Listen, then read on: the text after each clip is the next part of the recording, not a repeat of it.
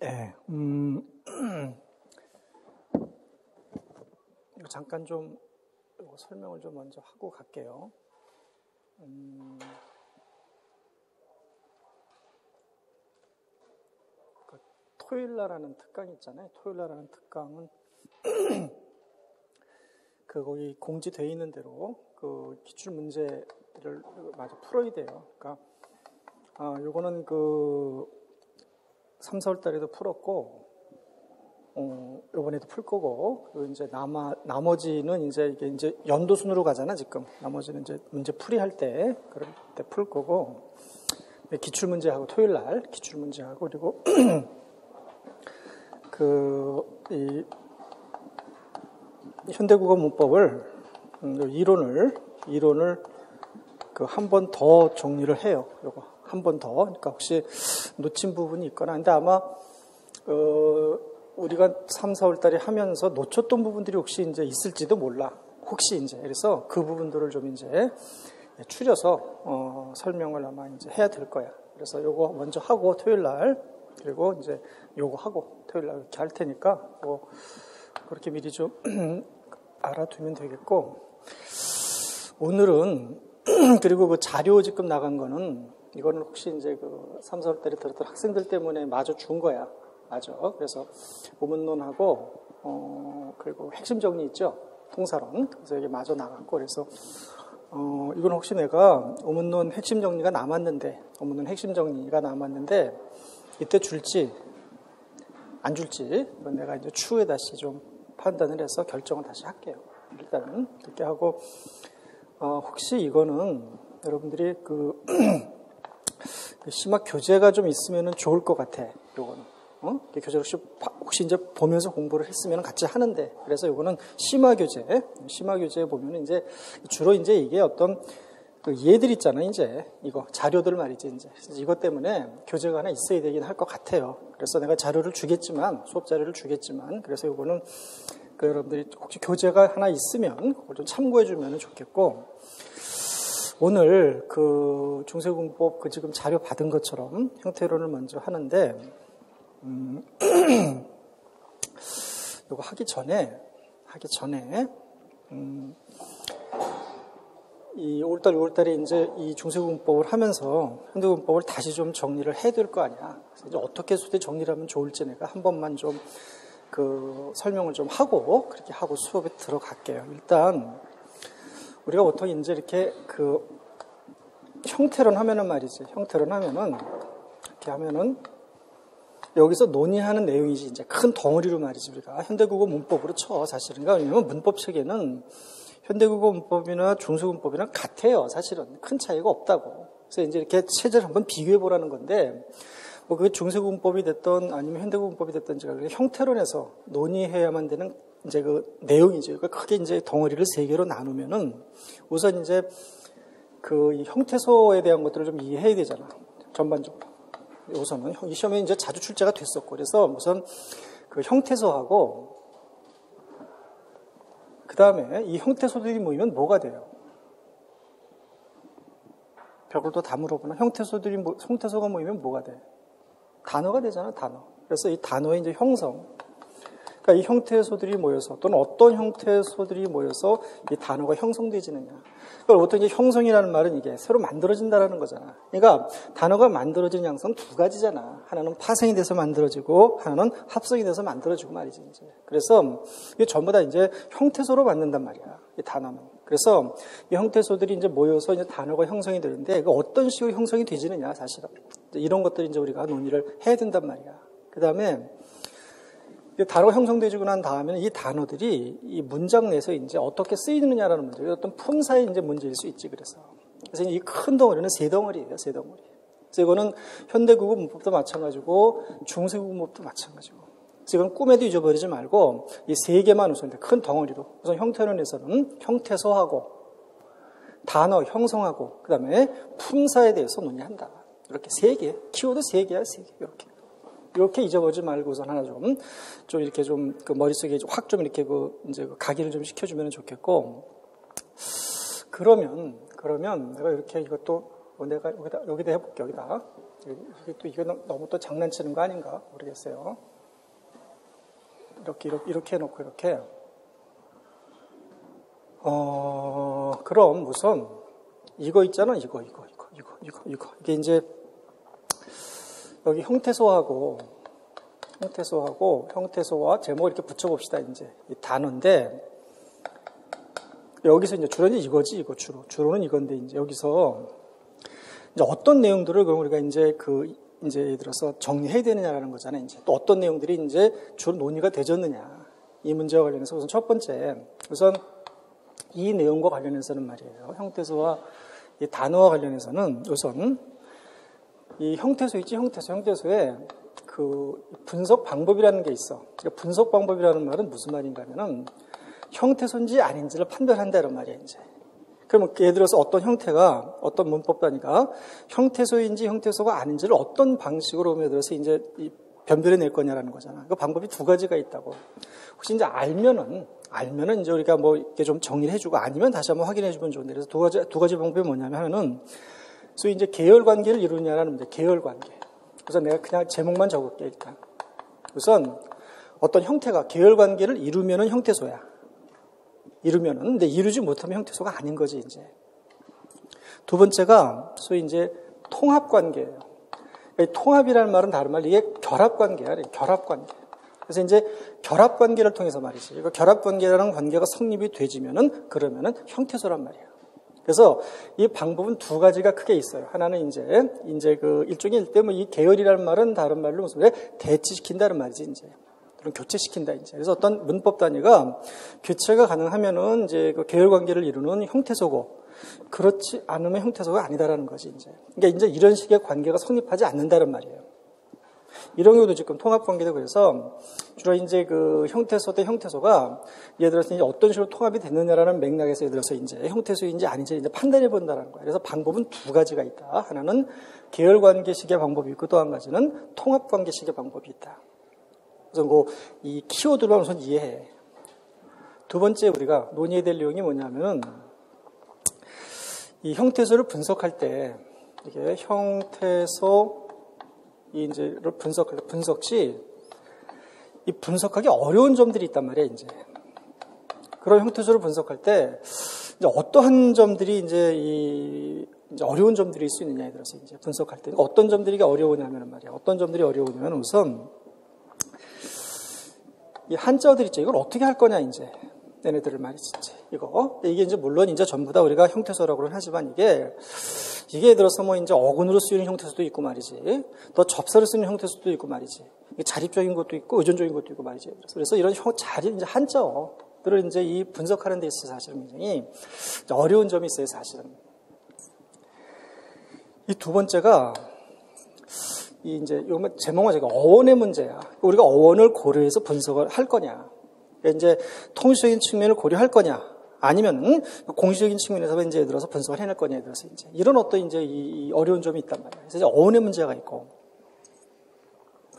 또 하나가 소위 이제 이 형태 문제인데 형태 문제라는 건 그냥 뭐 우리가 조금 이따 우리가 하겠지만 예를 들어서 예를 들어서 뭐, 뭐 올벼 얘는 접두사 오를 쓰고 조 있죠 조. 어? 김첨지 아내가 김첨지 맞아? 재수 좋은 날 김첨지? 박첨지 아니야 김첨지야? 확실해? 맨날 헷갈려 박첨지 김첨지. 그래서 음, 김첨지 아내가 이제 그 이제 그 아침에 먹었던 음, 조 말이야 조. 어? 조 조. 그, 그 조목 급체하잖아 급체. 그래서 어? 그래서 이게 이제 오조냐 이제 그러면은 이거 분석할 때 말이야 분석할 때 이게 예를 들어서 그럼 이걸 분석할 때 올 플러스 표, 올 플러스 조로 분석할 거냐? 아니면 이거를 5 플러스 표, 5 플러스 조로 분석할 거냐, 이제. 이런 이제 문제가 있단 말이에요. 이게 이 형태지만 말이지, 이제. 그래서 이걸 어떻게 이제 분석할 거냐, 이제. 이게 학경법에서는 어떻게 분석하라는 어떤 이 지침이 없단 말이야. 그래서 이 분석의 문제예요. 또 하나가, 그래서 이제 그, 예를 들어서 이, 예를 들어 종교 표현 같은 거 있잖아, 이제. 얘네들 분석할 때, 이거 분석할 때, 근데 뭐 우리가 뭐, 뭐 이렇게 뭐 밥을 줍니다 그랬을 때, 줍니다. 줍니다 할 때, 얘를, 얘를 이 거시적으로 분석을 할 거냐, 아니면 이제 이걸 미시적으로 분석을 할 거냐. 이게 만약에 거시라는 말은 무슨 뜻이에요. 거시란 말이 크다 이런 말이잖아. 크다. 크다. 그래서 만약에 이걸 거시적으로 분석을 하면 이제 뭐가 문제가 되는데 비읍니다가 문제가 되고 비읍니다 이거. 이거를 한데 그냥 묶어서 종교를 어미로 볼 거냐. 아니면 쪼갤 거냐 이제 들어서. 쪼개면 어떻게 돼? 다는 종교름이고 니하고 비읍은 뭐가 돼요? 선어물 어미가 돼야 되잖아 이제. 그래서 이걸 어떻게 할 거냐 이제. 이런 문제들이 말이지 이게. 이제 이제 이 골치 아픈 문제일 수 있다란 말이에요. 그래서 우리가 보통 한 네 가지 정도 잡아요. 한자어와 어원의 문제와 형태의 문제와 저희 이제 이런 거시적으로 분석을 할 거냐, 아니면 이제 미시적으로 분석을 할 거냐라는 문제지. 그러니까 이건데 뭐 이런 거 여기 말이야. 형태도 이게 만약에 뭐 빛깔이 고운 그랬잖아. 고운. 이 고운을 분석할 때 말이야. 이거 분석할 때 이거 그대로 고 플러스 우 플러스 니은으로 분석을 할 거냐. 아니 이걸 고 플러스 어떻게 이거를 은으로 분석을 할 거냐 이제. 이 문제들 말이지. 이제. 그래서 이게 이렇게 간단한 문제가 아닐 수 있단 말이야. 그래서 이제 이걸 만약 학생들하고 탐구할 때, 탐구할 때, 이걸 어떤 식으로 이제 그 분석하는 게 더 나을지에 대해서 말이지. 어떤 식의 이제 탐구가 가능할 거냐, 이제. 이런 것들이 이제 우리가 고려해 봐야 된다는 말이에요. 그리고 나면 이제 세 번째, 이제 이게 본격적으로 말이지, 이제. 본격적으로 이제 형태소의 문제야. 형태소의 문제인데, 우리가 이 형태소에 대해서 말이 형태소에 대해서 논의해야 될 내용은 많지는 않아요, 사실. 중요하지만 많지는 않아. 많지는 않은데, 그, 뭐 이렇게 좀 복잡하더라도 그냥 이거 내가 잘하면 지우고 가도 좋을 것 같은데, 한번 지워볼게요, 뭐. 음. 어, 형태소에 대해서는, 형태소에 대해서는 우선 그 개념이잖아, 이거. 뭐 당연하지만, 따라서 이제. 형태소가 뭐냐 도대체 이제. 어, 이거 이제 외우라고 이제. 이제 외워놔 그냥. 그게 논의하는데 편해. 어? 의미를 가지는 말소리의 가장 작은 단위다. 무슨 단위? 문법 단위겠지 이제 그래서. 그래서 이제 이게 형태소고. 이 개념은 이제 그렇게 우리가 그냥 이해하든지 암기하든지 하면 되고 두 번째가 이제 이 분류의 문제죠 이제 어떻게 형태소를 분류할 거냐라는 건데 기준은 크게 몇 가지가 있어 기준만의 기준 기준은 몇 가지가 있어요 두 가지 있잖아 두 가지 어? 자립성과 뭐 실질적인 의미 여부래잖아요. 예를 들어서 이제. 그래서 이거 이제 분류의 어떤 기준에 대해서 우리가 좀 이해를 하고 있어야 되고 이제. 네, 뭐 크게 뭐 문제가 될 내용도 아니야. 여기까지는 문제가 될 내용들이 아닌데 이제 이 형태소하고 그 다음에 이 형태하고 그 다음에 형태예요. 이제. 형태. 여기서 말하는 형태라는 건 이게 이게 내가 했지 이게. 이거는 폼이 아니고 폼 우리가 일말 폼이 아니고 모르프야 모르프. 모르프라는 형태가 있다고. 그래서 이 관계 관계. 형태소와 이 형태와 형태는 어떤 이제 이 관계에 있는가 이제. 그러니까 이건 사실 우리가 이 형태소와 이 형태와 형태의 개념도 알아야 되겠고 말이지 이제 정확하게. 이게 뭔지 말이지 알아야 되겠고 애들이 서로 한데 뭉쳐놓으면 말이지 이제. 어떤 이제 이 큰 맥락으로서의 문법적인 관계를 맺고 있느냐 이제. 이걸 좀 우리가 이제 이해해야 된단 말이야.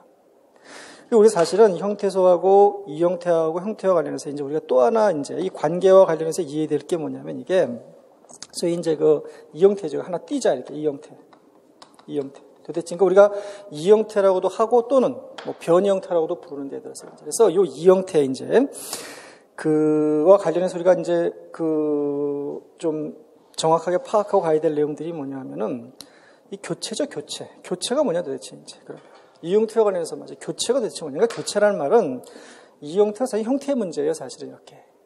그래서 이 교체의 개념이 뭐냐 도대체 하는 문제하고, 그러니까 여기는 사실은 교체의 개념도 중요하고 교체의 유형도 중요하고, 그러니까 우리가 교체를 따지는 크게 세 가지 기준은, 그러니까 기준으로 치면 몇 가지가 있어. 우리가 유형을 우리가 분류할 때 말이지, 교체 유형을 분류할 때 여기서 필요한 기준이 몇 가지가 있다고 가지수로. 가지수는 세 가지야. 그래서 가지수만 해, 가지수. 가지수로 세 가지인데 어떻게? 오문론적이냐 아니면 이제 형태론적이냐라는 문제. 그러니까 오문론적인 교체도 있고 형태론적인 교체도 있고 두 번째는 그 교체가 자동적이냐 비자동적이냐. 그러니까 이건 기준이 이게 뭐 예를 들어 오문론적인 어떤 그런 측면 여부 그래도 괜찮아. 또는 자동성의 어떤 여부 그래도 괜찮지 이제. 그래서 교체가 자동적으로 일어나는 교체도 있고 비자동적으로 일어나는 교체도 있고 또 하나는 또 하나는 규칙적이냐 불규칙적이냐 시험에 나왔었잖아 다 그래서 오문론적이냐, 형태론적이냐, 자동적이냐, 비자동적이냐, 규칙적이냐, 불규칙적이냐, 이제. 이거 이제 이 구분하는 문제죠, 사실. 그래서 이제. 이거. 어? 몹시 중요해요. 시험에 나왔을지언정 말이지. 두 번째가, 소위 이제, 기본형 설정 문제. 그러니까 이거 여러분들이, 그러니까 뭐 이걸, 이게 이렇게 이해가 되는 부분까지만 이해하라고. 나중에 문제를 다시 한번 확인할 거니까. 그러면 도대체 이 형태하고 기본형은 이게 무슨 관계가 있냐 도대체 말이지, 이제. 이 기본형을 설정해야 되는데 말이지. 그러니까 여기서는 이제 기본형이 뭐냐라는 개념도 중요하지만, 중요하고 두 번째는 어떤 기준으로 기본형을 설정할 거냐, 이제. 네, 몇 가지가 있어. 가지수로 치면. 한 서너 가지 있나 봐. 그 외우지 말고 그러니까. 우리가 일반적으로 예를 들어 설정 기준으로 우리가, 설정 기준인데, 설정 기준으로 우리가 내세우는 게 뭐예요? 타당성이지, 타당성. 타당성이라는 건 주로 뭐가 문제가 되든 이제 우문론적인 측면이 문제가 된다. 그러니까 우문론적으로 예를 들어서 교체를 설명해낼 수 있는 거 있잖아. 이런 것들을 뭘로 기본적으로 이제 예를 들어서 정한다. 그러니까 우리가 뭐 그냥 그냥이야 이거는 그냥 우리가 그러니까 목 그랬지 목. 목. 이 목은 그러면 이게 목은 이게 이건 형태소로 쳐 이렇게 형태소예요. 형태소. 형태소야. 형태소인데 그러면은 이 목이 이제 이거는 관념적인 어떤 말소리잖아. 형태소는. 그러니까 우리가 이 이 형태라는 것은 뭐야? 이거 이건 실제적인 말소리라고.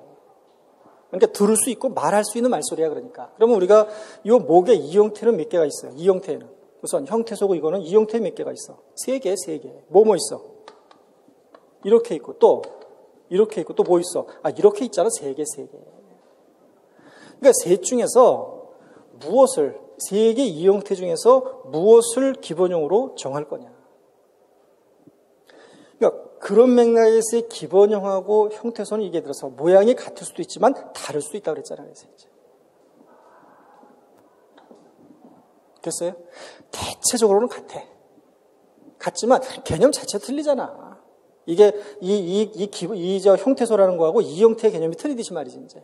그래서 요 세 개 이 형태 가운데서, 그러니까 형태소가 실제로 발화가 되지면 이렇게 발화가 되진단 말이야. 되지는데 세계 이형태 내지는 변이 형태 내지는 시연형 가운데서 무엇을 대표 형태로 정할 거냐 이제. 그 기준 기준 기준. 그러니까 우선 정하는 건 얘가 정해지잖아요 이런 식으로. 이게 이제 교체가 가능한 것을 기본형으로 정한다. 설명의 타당성이지 그래서 이제 교체를 설명할 수 있는 것을 기본형으로 정한다는 말이야 그 말은 그러니까 얘가 만약에 기본형으로 정해지면 이렇게 기본형으로 정해지면 말이야. 그러면 그, 이 기본형 이렇게 칩시다 이렇게 기본형으로 정해지면 얘가 이렇게 교체되는 걸 설명할 수 있잖아. 조건이 뭔데? 조건이 뭐예요? 모음 앞에서 아, 몫이 되잖아. 몫이 이건 조건이 뭐야? 그래 자음 앞에서 이거 볼, 이 컨소넌트 자음 앞에서 얘는 뭐야? 얘, 얘, 얘, 얘. 몽은 그래, 이건 비음 앞에서 설명이 가능하잖아, 전부 다. 그 설명이 타당하단 말이야. 얘를 기본형으로 정했을 때. 그래서 설명적인 타당성을 보통 기준으로 해서 기본형을 정한단 말이야, 이제. 그러니까 거꾸로 해봐, 거꾸로 해봐, 이제. 그러니까 얘를 기본형으로 정하면 얘가 기본형이 되면은 뭐는 가능해. 자기가 자기 자신처럼 바뀌는 건 설명할 수 있지. 목이 이렇게 바뀌는 건 설명할 수 있지만 이렇게는 될 수가 없잖아. 그러니까 이렇게 교체되는 건 설명할 수가 없다 그래 절대로. 그래서 안 된단 말이야. 어? 그러니까 얘에 비해서 얘를 기본적으로 정하는 것에 비해서는 불리하지. 설명적인 타당성이 떨어진다는 말이 그만큼이지. 얘는 더 떨어지지. 그러니까 자기 자신은 설명할 수 있지만 이렇게 이렇게 교체되는 것은 도저히 설명해낼 수가 없단 말이야. 그런 측면에서의 설명적인 타당성이다. 기준에. 두 번째 어떤 게 있어요? 그냥 그냥 생각으로 한번 해봐. 두 번째는 분포량. 어? 그러니까 분포량이라는 건 뭐야, 예를 들어서. 그러면 주격조사 2도 있고 가도 있잖아, 이렇게. 어떤 게 더 많이 쓰이냐는 말이잖아, 이제. 근데 이게 왜 문제가 된다 그랬어? 거의 비슷할 거야. 거의 비슷할 거야. 비슷할 텐데. 근데 아마 굳이 말이야, 굳이. 이게 예를 들어서 자음으로 끝나느냐, 모음으로 끝나느냐는 건 거의 비슷해요, 그래서. 그래서 이걸로 우리가 분포량으로 정하는 게 굉장히 어렵단 말이야, 그래서. 또 뭐가 있어, 이제? 통시적인 측면이 있지. 이제 통시적이라는 말은 무슨 말이에요? 이제 이가 가운데서 어떤 게 먼저 나왔느냐 이제. 그러니까 이게 먼저 나왔고 이게 나중에 나왔잖아. 16세기 말쯤에. 그러니까 통시적으로 먼저 나온 형태를 기본적으로 정해보는 것은 어떠냐 이들어서 이제 이런 식으로 이제 이제 그 기준을 이제 우리가 이제 설정해 볼 수 있다는 말이에요. 그래서 이제 그래서 크게 이제 우리가 가장 좋은 건 얼마나 이제 이 교체를 예를 들어서 이제 문법적으로 설명이 낼 수 있는 예를 들어서 이제 그 문법적으로 설명이 낼 수 있는 설명적인 타당성이 큰 것을 기본형으로 정한다 이제. 이게 이제 기본형 설정의 문제예요. 또 한 가지는 그러면 이 형태 간에는 무슨 관계에 있다고? 이 형태가 무슨 관계에 있어? 내용 관계요? 어, 말이 좀 이상하다. 무슨 관계에 있어? 이 형태는 무슨 관계에 있어? 그래, 상보적 분포 관계에 있다. 그러니까 도대체 이 형태하고 말이지 상보적 분포 관계라는 것은 어떤 관련성이 있나 이제 이거를 또 얘기하지만 자기가 자기식으로 설명할 수 있어야 된단 말이야. 그냥 아는 게 아니라 대충 머릿속으로 그냥 짐작하는 거 있잖아. 그럴 거다. 이거 안 돼. 말로 설명해야 돼. 왜? 학생들이 설명해 줘야 되니까. 그래서 물어보면 말이지. 이제 즉시 말이지. 그 자리에서. 어, 내가 뭐, 아, 좀 이제 모르면 나중에 나도 뭐 질문 들어오면은 이렇게 좀 내가 고민해보고 설명해 주는 경우도 있잖아. 저 카페 말이야. 그런 경우도 있지만 그래서 이 기본적인 것들은 바로 설명이 돼야 되잖아. 그래서. 그래서 그런 맥락에서도 문제를 낸다는 말이에요. 이 임용 문제도 말이야. 그래서 아무튼 이 문제가 이게 이제 이용투와 관련해서 이 교체 문제라든가 기본형의 설정 문제라든가 상보적 분표 문제라든가 이런 문제를 우리가 좀 이해하고 있어야 된다는 말이지. 그리고 다음에 네 번째가 단어인데 이 단어는 이것도 이제 개념이에요, 개념. 근데 단어가 이게 형태소보다 개념이 왜 중요하냐면은 단어의 개념을 규정하기가 굉장히 어려워. 오문이나 형태소보다도 말이지. 그래서 규정하는 게 어려워서 그래서 단어의 개념을 좀 우리가 충분히 이해해 볼 필요가 있다는 말이지. 기준도 여러 가지고 이제 저게 한 가지 기준을 가지고 단어를 규정할 수가 없다고 그래서 이제 그래서 이 단어의 개념하고 이 개념하고 그 다음에 이 성립 조건이죠 이제. 그래서 그러니까 물론 이 단어의 성립 조건이라는 이 내용은 개념에 포함될 수가 있어 그래서 이제. 그래서 뭐 자립성이라든가 들어서 말이지 뭐 이런 어떤 이제 자립 단위라든가 이런 것들이 이제 우리가 이 단어가 성립될 수 있는 조건이잖아요 이제. 그래서 그래서 이 개념과 단어의 성립 조건이 뭐냐 이런 것도 좀 우리가 이제 이해하고 있어야 돼요 그래서 이 부분들이 이게 이제 여기서 우리가 논의해야 될 내용들이야. 전부 다예요 그래서. 전부 다. 꽁꽁 묶어놓으라고 어 풀어쳐놓지 말고 이제 도망 못 가게 말이야니까 그러니까 모든 형태소와 단어에 대한 논의는 이 안에서 한다.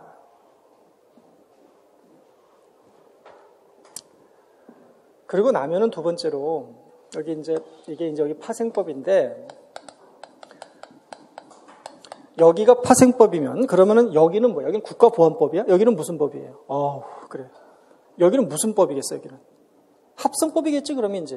그러니까 파생법과 합성법을 나누면 뭐야 그게? 그게 단어 형성이라고 단어 형성. 형성. 형성. 형성. 어? 형성. 우리가 어떤 내용들을 좀 그 정리하고 가야 되냐면 우선 파생법에 대해서는 우선 이 파생법과 관련 어떤 이론적인 어떤 문제들이 있어. 이론적인 문제. 그러니까 이론적인 문제라는 게 뭐냐면은 우선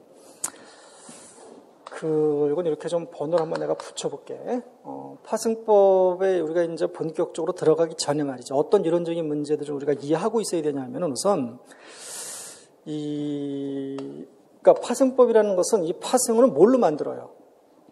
접사로 만들잖아, 아무튼간에. 그러니까 이게 이제 파생 접사. 파생 접사에, 소 이제 이 생산성의 문제. 생산성과, 그러니까 생산성의 반대는 뭐겠어? 비생산성이겠지, 그래서 이제. 그러니까 물론 이거는 개념도 중요하고, 개념도 중요하고, 용례도 중요해요, 아무튼간에. 그래서 이 파생접사가 생산적이라는 말하고 파생접사가 비생산적이라는 말은 도대체 무슨 말인가 도대체. 그 예는 어떤 것들이 있는가 이제. 이런 것들을 좀 먼저 파생법에 우리가 본격적으로 돌입하기 전에 우리가 먼저 좀 확인하고 가야 될 내용이란 말이야. 이 생산성과 비생산성의 문제를 말이지.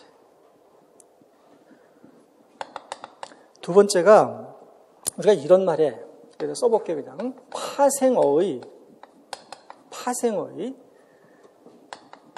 단일어화 이런 말을 써. 들어봤을 거야. 파생어의 단일어화다. 그러니까 단일어라는 말은 무슨 말인가? 파생어라는 건 뭐예요? 어근의 접미사나 접, 이 접두사가 붙는 게 파생어잖아. 그러면 단일어라는 건 뭐예요? 단일어. 고등어예요? 단일어가 뭐예요? 등푸른 생선이야? 단일어가 뭐야? 어근 하나로만 이루어지는 단어가 단일어잖아. 단일어. 그러니까 이게 화라는 말은 화. 이 화라는 건 이게, 이게 언중들의 오해다란 말이야, 오해. 왜 언중들이 오해하냐면은 본래 파생은데, 언중들은 그 파생어를 단일어로 인식한다는 말이야, 이제. 이 말 뜻이 말이에요, 그러니까. 근데 거기에는 말이야, 거기에는 어떤 이유가 있단 말이야, 이제. 어떤 이유가 있는가 하면 이게 이제, 소위 이제 이게 이런 말 써, 이런 말. 뭐, 근데 우문론적인 뭐 단일어화 이런 말을 써요, 이제. 음? 그러니까 이게 이제 우문론적인 단일어화. 어, 두 번째는, 두 번째는 뭐 이제 여기 형태론적인, 음, 이렇게 이제 그 형태론적인 뭐 단일어화. 뭐 세 번째는 이게 이제 의미론적인, 음, 의미론적인 단일어화 그래. 그러니까 이게 이제 어떤 우문론적인 이유 때문에 형태론적인 이유 때문에 어?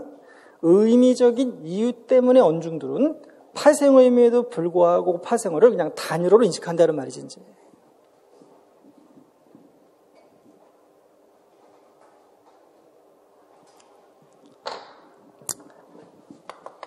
세 번째가 이 파생어가 이제 형성이 되진단 말이야. 이게 파생어가 형성되질 때 이 형성 규칙에 어떤 규칙에 형성 규칙에 어떤 제약이 있어요. 제약. 음, 파생어 형성 규칙에 제약이 있는데 이 제약도 크게 세 가지로 나뉘어. 그러니까 첫 번째가 이제 뭐 이제 이 단일화처럼 말이지 의문론적인 제약이 있어. 그래서 첫 번째 의문론적인 제약이 있고 두 번째가 두 번째가 그 형태하고 형태하고 이 통사론적인 제약이 있어요.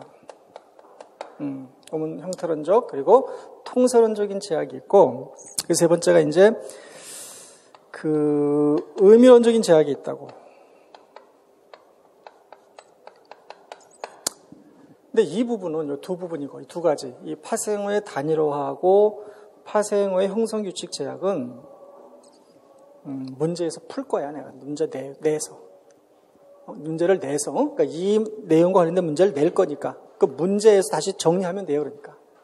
그러니까 이게 어렵다 싶다 이런 차원의 문제가 아닌가 이런 논의들을 왜 하느냐라는 것. 도대체 이런 논의를 왜 해야 되느냐라는 문제는 여것도 어때 들어서 파생의 성격을 이해하기 위해서다는 말이니까. 궁극적으로 말이지, 이제. 어, 이 파생법을 이해하기 위한 거야, 그러니까 파생법. 그렇게 치면 이제 들어서.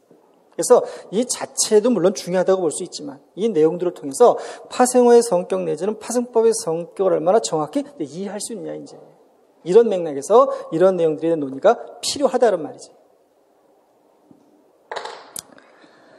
우리가 그러면은 뭐 또 알면 그냥 대답을 좀 해주면 좋은데 알면은 그러면 우리가 파생법을 나눌 때 말이야 나눌 때 크게 어떻게 나눠요? 참 이것도 질문이 참 모호하잖아. 그러면은 이렇게 줄게 그냥 접사 실현 위치에 따라서 만약에 파생법이 나뉜다면 접사 실현 위치에 따라서 파생법이 나눈다는 그러면 유형이 몇 가지가 있겠어? 그, 그 말은 무슨 말인가 하면 유형이 몇 가지가 있느냐는 말은 우선 그 위치에 따라서 파생 접사가 몇 개냐라는 게 중요하잖아. 그러니까 이게 그냥 이게 이제 보편적인 언어로 치면 말이에요. 그러니까 보편적인 언어로 치면은 파생 접사가 몇 개까지 존재할 수 있다? 세 개까지 존재할 수 있다. 개수로의 개수. 그러니까 기본은 보통 기본은 이제 두 개야 두 개 그래서 여기 세 개는 뭐가 포함돼? 접여사. 그러니까 국어에는 접여사는 없다. 어? 그러니까 이런 거 우리가 콧물할 때, 그 콧물할 때 그러면 이게 그러면 이게 접사 아니냐 이제 이렇게 의심할 수 있잖아. 그러니까 콧물에서 시옷이 접사가 아닌 이유는 뭐예요, 그러면?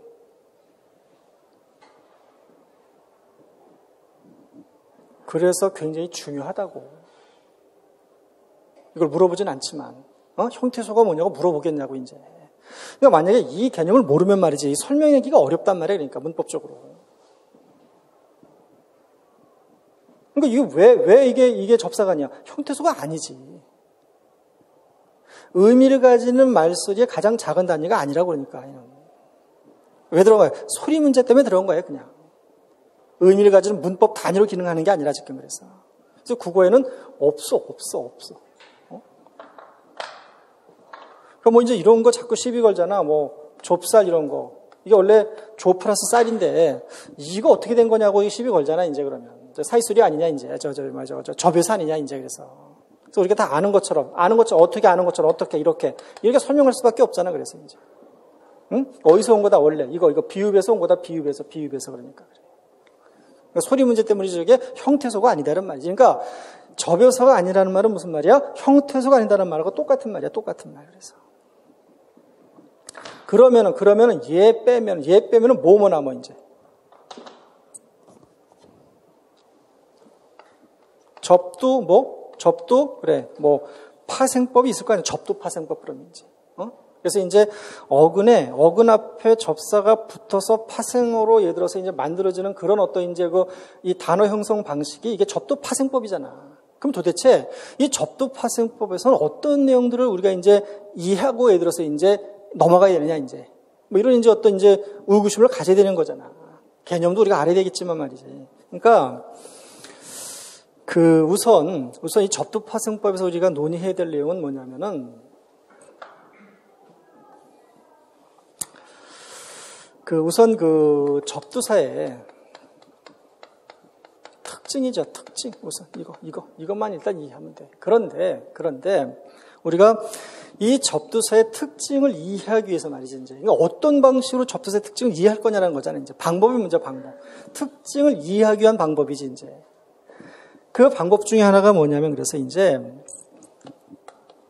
접두사하고 뭐하고 이 관형사가 어떻게 그러면 다르냐라는 문제잖아요, 이제. 그러니까 이거는 사실은 관형사가 중요한 게 아니고 뭐가 중요해? 접두사가 중요하지.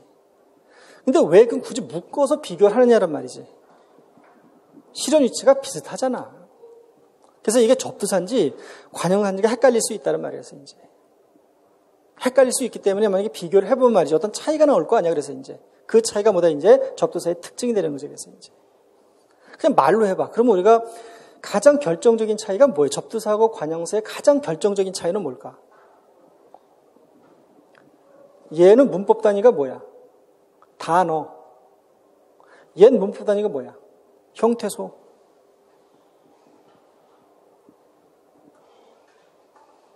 이게 공통점은 뭐예요? 공통점. 명사하고 친해. 명사하고 친한데, 친한데 차이점은 얘는 명사 어근에 결합되는 거고 얘는 명사를 뭐한다? 수식한다. 그러니까 그건 결합의 문제고 얘는 무슨 문제야? 수식의 문제라고 그러니까. 이런 차이들이 있단 말이에요. 그래서. 그래서 우리가 관용사와의 어떤 그런 차이를 통해서 접두사의 성격을 이해해 볼 수 있다는 말이죠. 또 하나는 그러면 이 접두사하고 뭐 접두사의 성격을 특징을 이해하기 위해서 접두사하고 이 어근의 어떤 이 차이야. 이거는 왜 비교해야 되는 걸까? 현대 국어에서의 접수는 어디서 왔죠? 전부 다 여기서 왔다고 여기서. 여기서. 여기서 간 게 있고 가는 과정인 게 없고 아직 안 간 것도 있겠지. 그래서 어근은 남아 있는 거겠지 이제. 이게 변별이 돼줘야 어? 접두사인지 아닌지를 판단할 수 있다는 말이야. 이것도 그래서 접두사의 특징을 이해하는 데 있어서 굉장히 중요한 어떤 방법일 수 있다는 말이지. 어근과 접두사 중에 이제 변별해 볼 수 있는 게 말이야. 어, 두 가지만 우선 이해해 주면 돼요. 이 특징에 대해서는 말이지. 음, 두 번째는 여기 이런 말을 써. 이 구체적인 이제 구체적인 그 접두사 파생법. 그러니까 이거는 이건 전부 다 용례야, 용례. 용례. 그러니까 이거는 사실은 그 혹시 이제 3, 4월 달에 내가 자료를 이제 뭐 준 거랑 교재 있죠, 교재. 여러분들 저 우리 교재 이거 보면 돼. 그래서 이거 보면. 그러니까 많이 늘려놓지 말라고. 여기 빠져도 못 태어난단 말이야. 그래서. 그러니까 자료에 너무 이렇게 저, 저기 덫에 걸리지 말고 그냥 주어진 곳 용례 정도 보면 된단 말이에요. 그래서 이제. 그래서 우리가 이 구체적인 접수사 파생법이라는 게 이게 보통 이, 이 접두사는 말이야, 이게 명사하고, 그 다음에 동사하고, 그 다음에 형용사예요. 여기 어근에 붙는다고, 이제. 여기. 이 어근에 붙어버렸어. 그래서 이 명사 어근에 붙어서 이제 접두 파생어가 만들어지기도 하고, 동사 어근에 붙어서 접두 파생어가 만들어지기도 하고, 형용사 어근에 붙어서 접두 파생어가 만들어지기도 하고, 또는 이게 이제 둘 이상이야. 둘 이상 어근이야, 예를 들어서 이제. 똑같은 접사가 두 개 이상의 이제 품사 어원에 붙는 경우가 있는데 보통 우리가 둘 이상은 뭐 뭐야? 명사하고 형용사에 그래서 이제. 그래서 명사하고 명사하고 형용사 어근에 이제 이 접사가 붙어서 이제 파생어가 만들어지는 경우가 있다. 이게 우리가 접두 파생법에서 논의될 내용 전부야. 그래서 전부. 그래서 이제 이걸 잘 우리가 이해하고 그러니까 우리가 접두의 성격이 뭐냐는 게 먼저 좀 충분히 이해가 되져야 돼. 그러고 나서 이제 용례들을 확인해 주면 되지. 그럼 세 번째는 뭐겠어요, 이제? 전미 파생법이죠, 그러면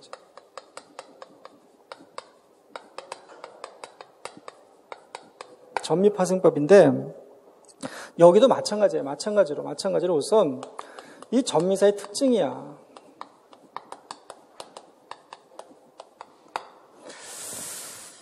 그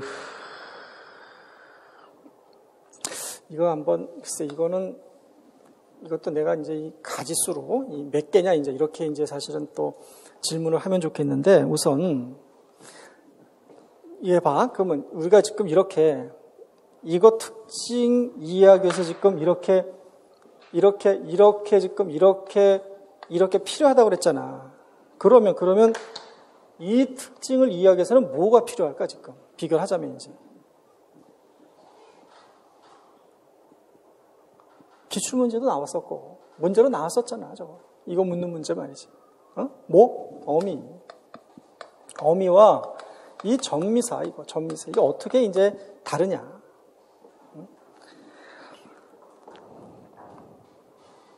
시험에서는 몇 개 물었어 이거? 시험에서 다섯 가지 정도 물었다고 다섯 가지. 응? 어떻게 다른지. 그 기준이 뭐냐면은 전미사하고 어미가 그럼 왜 이걸 이렇게 놓고 비교를 할까? 끝에 붙으니까. 그렇게 치면 말이지 이제. 어떻든 간에. 위치가 끝에 오잖아 그러니까. 어미도 끝에 오고 전미사도 끝에 오고. 뭐첫 번째가 음, 이 새로운 단어 있죠? 새로운 단어. 단어 형성. 그러니까 새로운 단어를 형성하는데 기여하느냐 그렇지 못하느냐라는 문제. 다시 말하자면 새로운 단어 형성 기능이 있느냐 없느냐의 문제잖아요. 그래서 이제 그러니까 전적으로 그러니까 접두사가 됐든지 전미사가 됐든지 접사가 붙는다라는 말은 무슨 말이야? 새로운 단어가 됐다는 얘기야. 그러니까 전미사가 내지는 접두사가 붙는다는 전부 다 사전에 등재가 된다니까. 새로운 단어이기 때문에 이제. 근데 어미는 그런 역할을 못하지 그래서 이제 그래. 그러니까 어간에 어미가 붙었다 그래서 말이야. 그러니까 예를 들어서 뭐 이렇게 예를 들어서 하니까 먹다에 뭐 있어? 먹다, 먹고, 먹으니, 먹으면 뭐 이런 거 이제 먹는데 이게 개별 단어들이 아니잖아. 그러니까 그냥 다 하나의 단어일 뿐이지. 하나의 단어를 그냥 기본용으로 먹다로 정해서 등재해 놓은 거지. 그러니까. 그러니까 어미들이 새로운 단어를 형성해내는 데 있어서는 전혀 기여하지 못하잖아. 이 차이가 있잖아요. 그래서 이 차이. 이 차이. 이게 이제 결합 제약은 어떻게 달라요? 결합 제약은 이게 이렇게 해. 이 어미가 어때? 이게 몹시 지조가 없어. 모든 어간에 다 붙을 수 있다고. 그러니까 이다 있죠. 다른 어미 이게 모든 어간에 다 붙잖아. 죽다이도 붙고 예를 들어서 뭐뭐 뭐뭐 뭐, 뭐, 자다이도 붙고 말이지 이제 뛰다이도 붙고 말이야. 그래서 이 결합의 제약이 없어. 이 굉장히 까다롭지 전미사가. 그러니까 아무 어근에나 마구잡이로 붙지 않는다는 말이에요. 그래서 이제. 그래서 이 결합의 제약이 커요, 전미사는. 그러니까 우리가 예컨대, 뭐, 예를 들어서 철수는 뭐 이렇게 군인이다 그랬을 때, 군인이다 그랬을 때, 만약에 얘를, 얘를, 얘를 이제 이를 뭐로 볼 거냐라는 거잖아. 이를 뭘로 봐, 이거를. 만약에, 만약에 전미사로 본다면 무슨 전미사로 볼 수밖에 없어? 이를 전미사로 본다면. 형용사 점에서 올 수밖에 없어. 왜? 이다가 형용사가 비슷하다고. 성격이. 어? 또 상태도 나타내고 이다가 말이지. 이제 존재라는 게 상태 개념일 수 있단 말이야. 활용 양상도 비슷해. 똑같아 형용사 그러니까. 명령이 안 된다라든가 안 되잖아요. 진짜 현재 시제가 안 된다라든가. 어? 이게 여기 현재 시 선어범에 붙을 수 없잖아요. 그러니까. 그래서 이게 대체로 이다가 형용사하고 비슷하다고. 품사적인 성격이. 그러니까 만약에 그래서 이를 뭘로 보자 이거를 형용사 전민사로 보면은 그러면은 그러면은 얘가 뭐가 되는 거야? 명사가 형용사 되는 거지 이제. 품사가. 그런데 그런데 요 이를 형용사와 전미사로 볼 수 없는 이유가 뭐냐라는 거야. 그 이유가 어디 있어? 여기 있다면 여기 있다. 이게 왜 이유가 되는데? 그래 마구잡이로부터 아무 차례나 막부터 제약이 없다고 그러니까 결합에 제약이 없어. 그래서 이거를 점미사로 볼 수가 없다고. 이거 본래 점미사는 어때? 그러니까 이것도 일종의 군인은 이거 명사 어근이라고 볼 수 있잖아. 이걸 형용사로 본다면 말이야니까. 이거 접사고 말이지 이제. 그래서 이게 아무 어근에나 마구 붙지를 않는다고. 이 점미사는 말이지. 이게 어미와의 차이예요. 그러니까 이게 이제 근데 이렇게 들어서 품사의 전속 여부지 이제. 그러니까 물론 전미사가 어근의 품사를 바꿔주는 전미사도 있지만 어근의 품사를 바꿔주지 못하는 전미사도 있잖아 아무튼간에. 바꿔주는 경우에 들어서 뭐 이런 거 뭐. 근데 뭐 지우다에서 이거 품사가 뭐야? 동사 아니야 동사. 여기 뭐가 와? 개가 오면 이게 명사가 되잖아 명사 그래서 이제. 그러니까 어근의 품사, 어근의 본래 품사는 동사인데 동사를 명사로 바꿔준단 말이야. 그러니까 바꾸는 기능은 있다고. 이게 어떤 지배적인 기능을 한단 말이야 접사가. 그런데 어미는 어때? 다가 붙던 고가 붙던 은이가 붙던 묘가 붙던 이것 때문에 품사의 변화가 없잖아. 전부 다 전부 다 동사야 동사 동사 동사. 그래서 품사 전송 기능이 품사 전송 기능이 어미에는 없고 뭐에는 있다? 전미사에는 있다 그래서. 보통 이제 우리가 뭐 결합 대상 같은 것도 있잖아. 결합 대상이니까 결합 대상이 우리가 왜 이 어미하고 이거 이거 우리가 논의할 때, 그러니까 어미는 형태소지만 이거 주로 어디서 논의해요 어미를? 통사론에서 논의를 해. 왜? 이 어디에 붙기 때문에 구나 절에 붙어 어미는. 응? 그러니까 우리가 보통 예를 들어서 뭐 이렇게 철수가 밥을 먹었다 그러잖아. 그러면 이 어디지? 이게 뭔데? 어시 뭐야? 그냥 어시야? 어, 어시 뭐야 이거? 과거 시제 선어말어미. 이게 어간에 붙는 게 아니고 철수가 밥을 먹 전체 붙는다고. 여기 어시 붙은 거지. 응? 이 철수가 밥을 먹어 전체 먹었어서 다가 붙은 거죠. 그래서 이게 전체 문장을 어시 과거로 만들어준다라든가 다가 전체 문장을 어떻게 종결시키잖아. 종결. 이게 어간에 붙는 게 아니지 그러니까. 그래서 이게 구라든가 이 어미는 이게 구라든가 절에 붙는데 전미선 어디에 붙어요? 문법 단위가 문법 단위가 전미선 어디에 붙어? 문법 단위.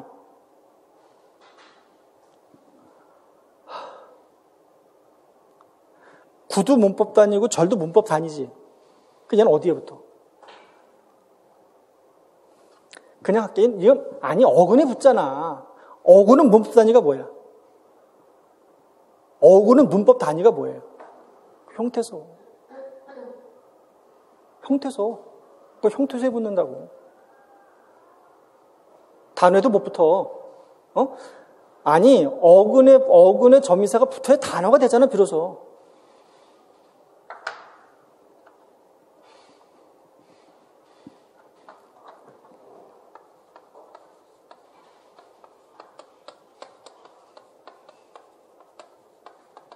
우리가 이렇게 여기 지금 이 똑같이 요거 요 이가 이게 명사와 전미사잖아. 아, 요 때밀이 쥐불놀이 있잖아. 여기 때밀의 이는 무슨 뜻이에요? 이는 때를 전문적으로 미는 사람이잖아. 쥐불놀이에서 일하는 거 어떤 놀이의 개념이 있잖아요. 들어서 이제. 그러니까 이게 무슨 말이냐면 이 전미사가 형태는 같지만 의미는 다르다고. 근데 근데 여기 이렇게 들어서 고래 밖에 고, 고. 고는 먹고도 있고, 뛰고도 있고, 자고도 있어. 또 뭐도 있어? 하나만 더 대봐. 뭐 밥을, 뭐 선물을 주고도 있지. 주고도 있어, 주고. 그러니까 이렇게, 이렇게, 이렇게, 이렇게. 지금 이 형태가 똑같지. 형태가 똑같지만 의미는 다르지. 형태도 같고 의미도 같아. 그래서 무슨 의미인데, 그럼 고는? 그러니까 이게, 이거 알고 있어야 돼. 그러니까 알고 있어야 된다고. 그래 무슨 의미가 같냐고 했을 때 말이지 그 질문의 뜻도 알 수 있고 무슨 의미인지도 알 수 있다는 말이니까. 그러니까 얘네들은 형태소야 아니야. 별거 다 물어봐. 형태소잖아.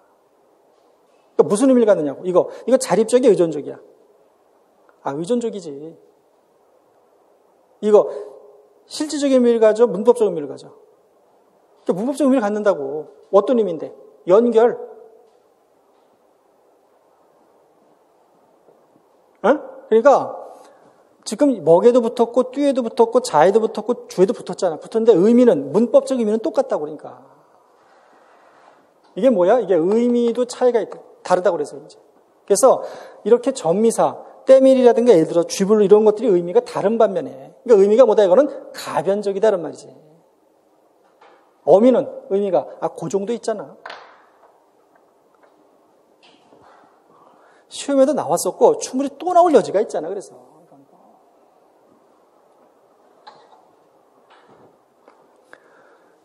이 A라고 잡을게 A 그냥 편리상 A. A가 어미와 전미사고 두 번째 B가 이 어근과 전미사의 문제 또.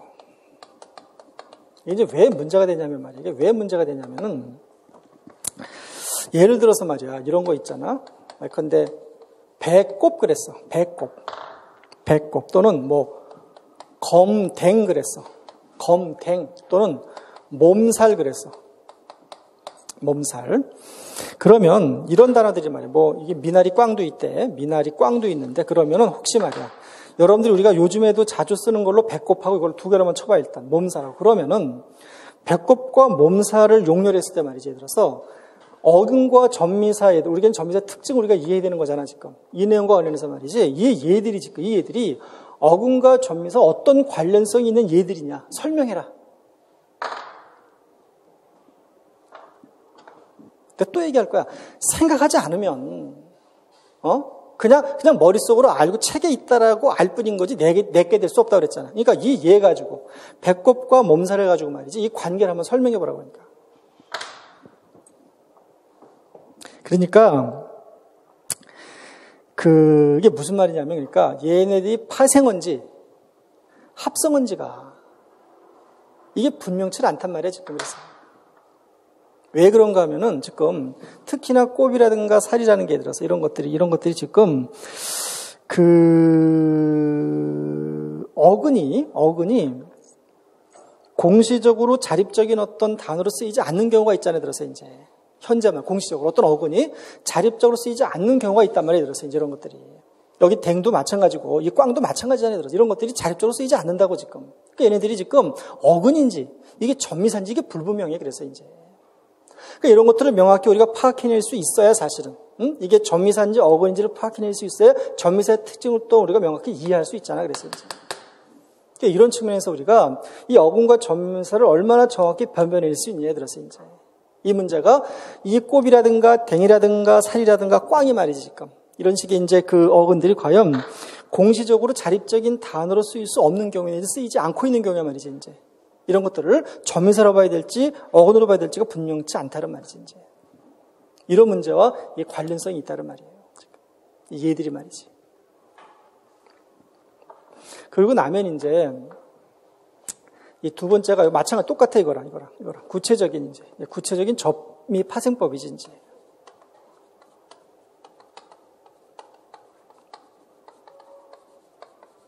그러니까 훨씬 용례가 많아. 이거. 형지 용례가 많다고. 전미파생법이. 그러니까 숫자도 전미사가 많고, 음, 전미사가 많고, 그러니까 용례도 당연히 전미사가 많겠지, 이제. 그래서 그 명사, 이제, 그 명사를 형성하는 전미사가 있고, 이제. 그러니까 명사도 있고, 뭐 형용사도 있고, 뭐도 있어. 동사도 있고, 부사도 있고, 뭐 조사도 있고. 여기는 명사만 있는 것도 아니야. 대명사도 있고, 뭐도 있어. 수사도 있다 그래서 이제.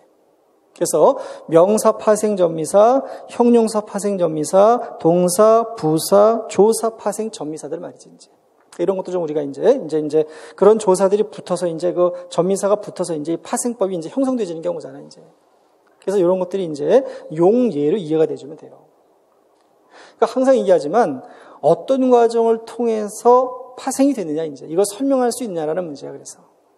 그러니까 과정을 설명할 수 있느냐 이제. 이건 뭐 합성법도 마찬가지지만. 그래서 이것도 우리가 그 교재 있잖아. 교재에 나와 있는 내용 정도로 우선 이해해줘도 돼요. 너무 많이 이렇게 골치 아프게 하지 말고 일일이 다 할 수도 없고. 응? 응. 그래서 그 정도로만 여러분들 이해해 주면 되니까 반에. 그뭐 예를 들어서 이게 뭐 그 얘가 뭐 찾아보면은 결론서마다 다 있으니까 그 일일이 전부 다 여기다 넣어가지고 뭐 용리를 확장할 필요는 없다 그러니까. 그래서 교재나 자료에 있는 것 정도만 해라는 말이야. 충분하니까. 그럼 뭐 남았어 이제? 합성법 남았지 합성법 이제 이게 파생법에 비해서는 조금 더 간단해요 사실은. 좀 간단해, 더. 용례가 더 간단하다고, 합성법이. 우선, 여기다 할게, 합성법은. 여기다 해볼게요. 합성법. 합성법이야, 합성법인데, 우선 이것도, 어근의 종류가 말이야, 이것도. 그러니까 접사도 그렇지만 어근도 이게 생산적인 어근이 있고, 그 다음에 비생산적인 어근이 있다고.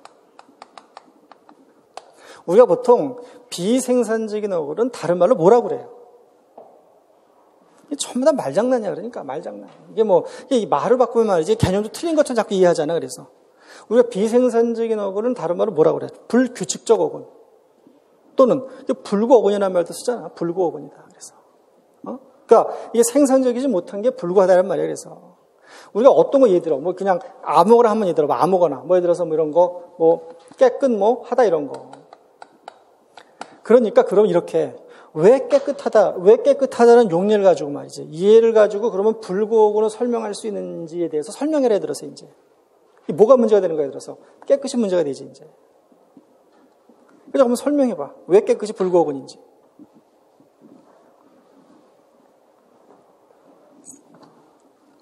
이게 불구어근이에요. 이게 왜 불구어근이야?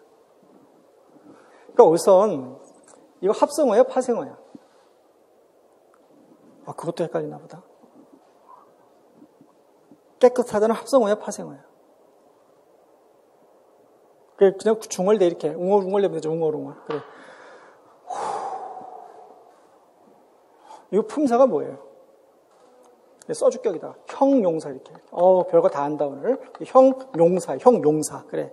어? 역전용사가 아니고 형용사라고. 어? 그저 이 어디야 노량진 앞에서 이렇게 그 노량진을 지키는 용사가 역전의 용사. 야, 역전의 용사. 용사, 예, 형용사. 어, 그래. 형용사인데 그러면은 지금 형용사 얘가 형용사인 거는 뭐 덕분인 것 같아? 얘 덕분인 것 같아. 이게 뭔데 이거? 그럼 이건 뭐냐? 합성어야, 파생어야? 그게 파생어라고 파생어. 그러니까 지금 얘 때문에 그래, 얘 때문에, 얘, 얘, 얘, 이거 깼건. 얘는 어디에만 붙는다고? 얘는 오로지 하에만 붙는다. 하가 깨끗하면 붙는 게 아니잖아. 이건 굉장히 생산적인 점미사지, 그러니까. 어? 얘가 얘가, 얘 어근이 이게, 어? 이게 여기에만 붙어, 그러니까. 이거 어때? 합성이 되지 예를 들어서 이 단어를 만들어낼 수 있는 어떤 이런 어떤 그런 능력의 용량이 제한되지잖아. 그래서 이제 그런 측면에서 얘기해 비생산적이다란 말이에요. 어떻든 어근이 어근, 어근이 보통 생산적인데 말이지 이렇게 비생산적인 경우도 있다고. 모두 있어. 아름답다도 있잖아. 아름답다. 어? 그러니까 아름답다. 아름의 정체가 뭔지 잘 모르겠어. 그러니까 오로지 어디에만부터 답에만 본다고 답에만. 그래서 그래서 어때? 그러니까 얘가 전미사니까 얘는 뭐겠어요? 어근이지 뭐해 그러면.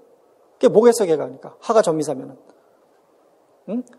그러니까 또 한 번 얘기하지만 사실은 이게 사실 하가 전미사이기 때문에 깨끗하다가 파생어가 아니고 이게 파생어이기 때문에 하가 파생 전미사인 거야.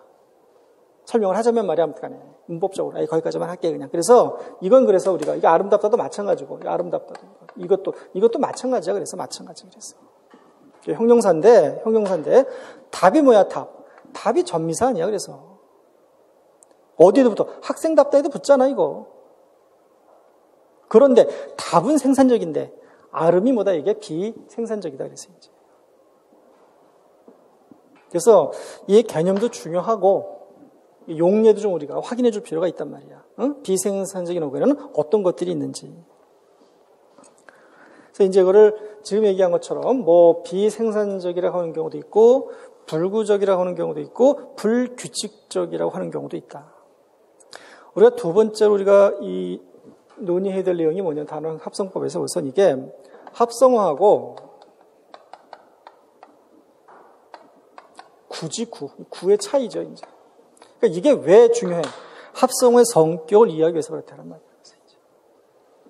어떻게 다른가, 이제. 그러니까 합성어라는 거, 우리가 그럼 한 번더 금방 하겠지만 우리가 문법 단위를 한 번만 더 좀 해줘봐. 제일 작은 문법 단위가 뭐예요? 아, 제일 작은 문법 단위가 뭐야?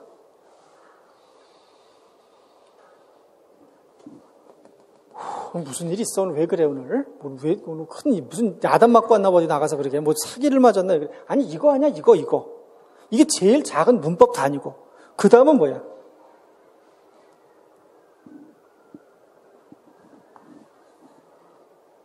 그 다음은? 그 다음은? 어절. 그 다음은? 구. 그 다음엔 절. 그 다음에 문장. 그게 뭐야? 이게 단어 아니야? 단어, 단어. 근데 이게, 이게 말이지, 결국 구가, 구가 합성어가 된 거라고 보통. 이게 완료가 된 경우가 있고 안 된 경우가 있다. 또 과정이 있고 지금 예를 들어서. 그래서 이게 구분이 되져야 말이지. 이게 합성어인지 구인지를 판별할 수 있어야만 합성어의 어떤 성격이라는 합성의 내용을 정확히 이해할 수 있다란 말이야. 그래서 비교한다는 말이지. 그래서 비교한다. 그러니까 근데 우리가 아 참 이렇게 고민형하면 말이야. 고민형하면은 이거 형태소 몇 개예요? 고민형은 형태소가 몇 개야? 음, 두 개. 단어는 단어 한 개라고 그러니까. 근데 얘가 이게 단어가 한 개면은 합성을 거고 단어가 두 개면 어떻게 될까? 그러면 그럼 뭐가 되게? 그러면 그러면 구가 되겠지 이제. 얘네들이 여기서 왔을 거라고. 곰하고 인형하고가 이렇게 이제 각각 각각 각각 만난 거죠 완전히 밀착이 되진 거지 이제. 그래서 이렇게 된 거란 말이야. 그래서 이 경우는 그러니까 근데 우리가 뭐 흔히 많이 들은 얘기 있잖아요. 들어서 뭐 뭐 큰뭐 뭐, 아버지하고 뭐 큰뭐 뭐, 아버지 아버지. 그러니까 이 큰아버지는 이 큰아버지는 무슨 뜻이에요? 아버지의 형이잖아 그러니까. 이건 무슨 뜻이고? 빅하우스고. 빅하우스. 이 밑에 이거. 그러니까 이거는 이건 구고 얘는 뭐고? 합성어 그러니까 이제. 그러니까 이게 구분이 되져야 합성어의 성격을 더 정확히 이해할 수 있을 거 아니야. 그러니까 보통 기준은 뭐래 예를 들어서 만약에 기준이 표기로 치면 어때? 띄어쓰기가 돼 있으면 뭐고 구고 안돼 있으면 그러면 단어지 뭐야? 합성어지. 사이에 다른 성분이 들어갈 수 있으면 구고 다른 성분이 들어갈 수 없으면 뭐야? 그럼 합성 아니야? 합성, 합성, 합성. 의미도 지금 어때? 큰과 아버지가 각각 의미를 갖잖아. 이건? 이건 다른 의미를 갖잖아. 지금 큰과 아버지가 합쳐서 말이지. 이제. 그러니까 의미도 다르다고 서로 이제. 그래서 어떻게 다르냐 이제 합성과 구가 말이지. 이걸 좀 우리가 이제 정리를 좀 하고 이제 그 합성에 대한 논의를 우리가 이제 마무리해야 돼요. 그 다음에 세 번째가 그 합성어의 이제 그 이것도 유형이지 이제 유형 유형인데 이거 우리가 그러면 우리가 보통 유형이라는 건 종류잖아. 종류를 나눌 때 뭐가 필요해? 기준이 필요하지. 그 왜 기준 몇 가지인데? 가지수만 해, 일단 가지수로. 그러니까 합성어의 유형 우리가 분류하잖아. 분류하는데 필요한 기준이 몇 가지라고 그래. 세 가지야, 세 가지, 세 가지. 그래서 기준 세 가지. 첫 번째가 뭐야? 품사별로 이제. 품사별로 합성어를 분류할 수 있잖아. 품사별로. 응? 뭐 합성 명사냐, 합성 동사냐, 합성 형용사냐, 합성 부사냐. 또 어떤 게 있을까? 이렇게 해줄게, 그냥, 여기다가. 이, 이 기준으로 나올 수 있는 이제 그 유형이 있잖아. 이게 뭐야, 이제? 통사적인 합성어냐, 비통사적인 합성어냐, 이제. 이건 기준이 뭘까? 이거는 보통 형성 절차지, 형성 절차. 어근이 모여서, 어근이 모여서 합성어가 만들어지는 절차 있잖아, 절차. 그 절차가, 그 절차가, 절차가 한국의 어순구조에 맞으면 통사적이고 한국의 어순구조에 맞지 않은 거다 그러면 비통사적 아니야 그래서 이제 형성 절차에 따라서 통사적인 합성어와 비통사적인 합성어로 나눌 수 있다.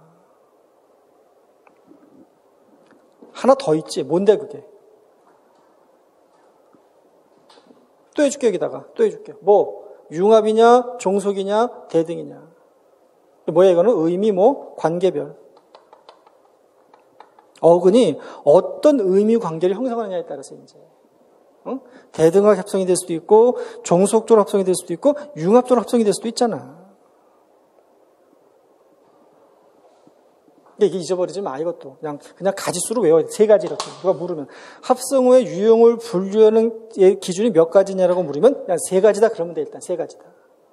그냥 그렇게 이 저기다가 내주고 싶어 시험에다가 저 이 가로놓기에다가 가지 몇 가지라고 쓰게 말이지 이제. 어? 답은 세 가지야. 답은 세 가지. 어. 그 다음에 네 번째가 이제 여기 이제 품사별로 이게 중요해. 이거 하루 나, 이건데 이거 하나 나눠놓은 거야 품사별. 품사별 이용은 그래서 이제 워낙 중요해서 말이지. 이제. 그러니까 이것도 우리가 교재 나와 있는 것 정도만 이해해주면 돼요. 여기. 그래서 이게 이제 뭐 합성 명사부터 시작하잖아. 합성 명사부터. 합성 명사. 뭐 합성 동사. 합성 형용사. 뭐 합성 뭐 부사. 뭐 이렇게 나눠서 우리가 용어들 이해해주면 된다고 이제. 물론 이 합성어들이 어떤 과정을 거쳐서 합성이 됐는지를 물론 이해해야 되지만 말이야, 이제. 그 과정을 좀 명확히 이해하고 있어야 돼요. 파생어도 마찬가지지만. 그리고 나면 마지막으로 우리가 이제 합성법에서 논의될 내용이 뭐냐면 이게 이제 그 직접 구성 요소야, 이제. 이거. 그러니까 이 직접 구성 요소가 왜 중요하냐면은 합성어의 구조를 정확하게 파악해낼 수 있다는 말이야. 그러니까 그 형태소를 이제 합성어를 분류할 때, 나눌 때, 합성어의 어떤 이제 그 구성 요소를 나눌 때, 제일 첫 번째로 나뉘어지는 요소가 직접 구성 요소지. 몇 가지나 항상 두 가지로 나눠진다고. 그러니까, 근데, 우리가 코웃음 그랬지, 코웃음. 그러니까 이게, 이게 합성인지 파성인지를 우선 판단해야 되잖아, 요 들어서. 또는 합성을 하면 어떻게 합성이 되는지를 이해해야 되잖아. 그래서 어떻게 이거를, 이렇게, 이렇게 그림을 그려볼 수 있잖아요, 이렇게. 그러니까 먼저 어떻게? 이렇게 합쳤다고. 그러면 웃음은 이게, 웃음은 뭔데 이거? 이거, 이건 파생어잖아. 파생어 어근이라고 이거. 여기에 뭐야? 명사 어근이 합친 거지, 그래서 이제. 그래서 뭐가 됐어? 합성어가 됐지. 그러면, 그러면 예를 들어서 우리가 시부모 그런 말이야. 시부모 하면 이거는 합성어야, 파생어야? 파생어지. 근데 뭐가 중요해? 얘가 중요하다고, 합성어. 그래서 이것도 어떻게, 어떻게 나눠, 이것도, 이것도, 이것도 이렇고, 그러니까 이렇게, 이렇게 나누잖아, 이렇게. 그러니까. 먼저 뭐가, 부, 뭐가 먼저 합성이 됐다고. 그 다음에 접두사 뭐가 한 거야? 시가 온 거지, 이렇게 이제. 그래서 뭐, 이게 중요하다고, 이거, 이거, 이거, 이거. 그래서 이 합성어에서는 이 직접 구성 요소가 뭐냐, 사실은. 이걸 우리가 좀 명확하게 우리가 이제 분석해낼 수 있어야, 그래야 합성어의 정체를 명확히 알 수 있다는 말이에요. 어떻게 이제 합정이 됐는지도 알 수 있고, 이제. 물론 이제 어떻게 파악했는지도 알 수 있겠지, 이제. 그런 맥락에서는 말이야. 그래서 이 직접 구성 요소가 이 합성어의 어떤 구조를 파악해내는 데 있어서 굉장히 중요한 어떤 그런 이제 어떤 그런 그 조건일 수 있다, 이제. 그래서 이 내용들이 지금, 이게 오늘 우리가 중세 국어 문법에서 논의할 내용과 마찬가지 맥락의 내용들이야, 그래서 이제. 그러니까 문법 책이 조금 더 간단해, 얘가. 뭐가 복잡해? 용례가 복잡하지, 이제 조금 이제. 복잡한 게 아니라 좀 이제 낯설지, 이제 그래서. 그거 외에는 문법 체계는 똑같아요, 그래서. 그래서 집에 가서 이건 공부, 복습하면서, 복습하면서 이걸 같이 좀 해보란 말이야, 펴놓고. 같은 내용들을 말이지, 이제. 그럼 이제 자기가 보기에 같은 점과 다른 점들이 이렇게 이제 뭐 이렇게 좀 눈에 들어오는 부분들이 있겠지, 이제. 예컨대. 문법적인 어떤 이론은 크게 다르지 않아. 용례도 좀 차이가 있겠지, 이제. 그래서. 그걸 좀 정리해 주란 말이야, 다시 한 번. 따로따로 하지 말고 이제. 이거 어. 조금만 내가 하고 할게요. 잠깐만 이거 보면은 그 앞에 여러분들 목차는 그 여러분들이 봐 그냥 여러분들이 보면 되고 어 이거 이건 여러분들이 보라고 그러니까 이거 이거 이거 해놓은 거 이거 이거 이제 우리 논의할 내용들 내가 한번 그려봐 준 거야 아무튼간에 놓은 거니까 여러분들이 확인해주고 여기 한번 좀 봅시다. 여기 보면은 우선 오늘 해야 될 게 이제 단어하고 형태서인데 여기 보면은 금방 했어. 형태소의 상위 문법 단위가 단어라고 그랬잖아요, 이제. 그래서 개념은, 형태소의 개념은 언어 형식의, 언어 형식의, 아, 최소 단위다. 언어 형식이라는 말하고 문법 단위라는 말은 같은 말로 봐요. 그래서 이제. 그래서 문법 단위의 최소 단위다. 그래서 의문과 의미가 결합된 말의 낯덩이로서 그러니까 이제 의문이라는 게 자음과 모음이 의문이잖아. 그러니까 의문이 모였는데 모여진 의문이 뭘 가질 때 이제 의미를 가질 때 이제 그 의미를 가진 의문이 어떤 측면에서 이제 형태소가 되는 거지 그래서 그래서 가장 작은 말의 단위를 형태소라고 한다. 우선 얘네들을 말이야 지금 형태소를 이제 우리가 분석해 놓은 건데 네, 여기다 좀 써볼게. 이거 하기 전에 한 번 더 하고 갈 거야. 아까, 아까, 이 문법 단위 가운데에서 가장 작은 단위가 뭐라 그랬어요? 형태소. 우선 해봐. 한 번 더 할게. 형태소, 형태소. 그 다음, 밑으로 갈게. 그냥 거꾸로. 그 다음엔 뭐야? 그 다음으로 큰 거는? 단어고. 그 다음에 어절이고. 또 한 번 할게. 그러니까 얘는 뭐 때문에 문제가 된다고? 조사 때문에 문제가 된다. 조사를 단어로 인정하지 않으면 어절은 필요 없어. 어? 그러니까 조사 때문에 어절이라는 단어가 필요한 거야. 그러니까 조사가 붙지 않는 건 단어지만 조사가 붙어서 어절이 됐다는 것은 단어보다는 상위 개념이잖아. 그러니까. 단어가 두 개니까.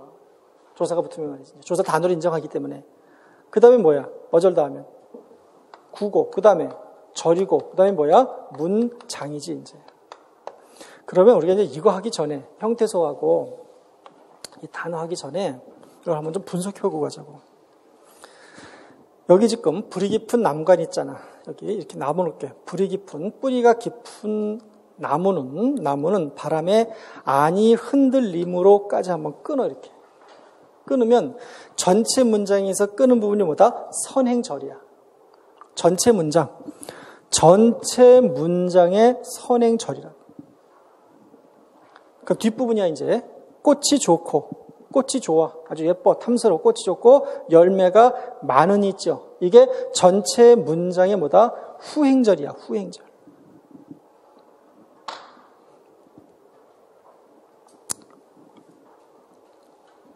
그 다음에 여기 후행절 한번 봐봐. 여기 꽃 좋고 그 다음에 여름 하나냐 이렇게만 나눠봐. 꽃 좋고 여름 하나냐. 얘네들은 지금 만약에 이것 빼고 얘네들만 문장으로도 볼 수 있잖아.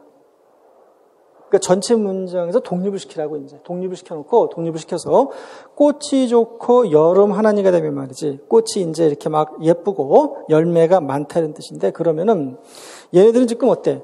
꽃이 좋고 여름이 지금 열매가 많다라는 건 이게 이게 무슨 이어진 문장이잖아 지금. 아니 얘 애들이 연결했잖아 꽃이 좋고 엔드로. 그래서 꽃이 좋고 열매가 많다고 대등절이라고. 대등절에. 그러니까 대등적으로 이어진 문장이지 문장. 문장이 얘 뭐고 이거? 얘 선행절. 얘 뭐고? 후행절이라고 그러니까 그래서 이 용비어 청가가 이게 표현상으로도 굉장히 완벽한 그런 작품일 수 있지만 문장 구조로도 완벽해. 결국은 또 후민정음은 이 성공한 문자지 그래서 이제 사실은. 이거 왜 만들었다 그랬어? 이 용벼청가를 왜 줬다 그랬어요? 일차적인 이유는 뭐야? 왕조의 정당성을 알리기 위해서. 두 번째는 훈민정음이 잘 만들어졌는지 시험해 보기 위해서니까. 100% 완벽하게 만들어진 거지, 그래서 이제. 그래서 얘만 단독으로 띄면 꽃 좋고 여름 하나님만 단독으로 띄면 그러면 이거는 뭐야? 이건 종속절. 얘는 뭐야? 이건 주절이지, 그럼 이제. 아니, 이거 이유 아니야, 이유. 이유, 결과 그러니까 이제. 전체 문장은. 그래서 얘 종속절 주절에 얘만 떼면 얘만 떼면 뭐다 이거? 선행절 후행절이 대등적으로 연결되어 있다 지금 그래서. 꽃 좋고 여름 하나니까 여기 한번 볼까? 여기. 불이 깊은 남간 있잖아 지금. 뿌리 깊은 남간. 불이 깊은 남간은 문법 단위가 뭐다? 구야 구, 구. 무슨 구? 명사 구 근데 명사구인데 이 명사가 뭘 안고 있어? 이렇게 관형절을 안고 있다. 그래서 관형절을 안고 있는 명사구예요. 그러니까 구 속에 이제 절이 들어있다고 보는 거지, 이제. 그래서. 그래서 뿌리 깊은 남가는 뭐고, 남가는 명사구다. 내가 한 번만 더 좀 물어볼게. 그럼 여기 명사구라는 말은, 한 번 더 할게. 명사구가 무슨 말이에요? 그러니까 명사구가 무슨 뜻이야? 또 해봐. 한 번만. 명사구가 무슨 말이야? 또 해. 얘는 문법 단위고. 이건 뭐고? 품사. 품사인데 주로 뭐다 이거는 그래서 기능의 문제야, 기능. 문장 내에서 명사가 하는 역할을 뭐가 담당한다? 구가 담당한다. 그런 거를 명사구라고 한다. 그래서. 그래서 어절이 모이면 단어는 어절이 모이면 구가 되잖아.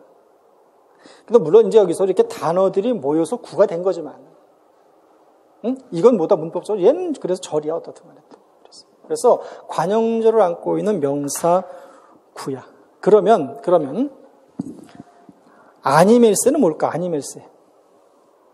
얘가 명사 구면은 얘는 무슨 구야? 동작 구야? 무슨 구야? 동사 구. 어? 아니 흔들림으로 동사 구. 바람의 아니 흔들림으로 동사 구. 두 개 다 동사구라.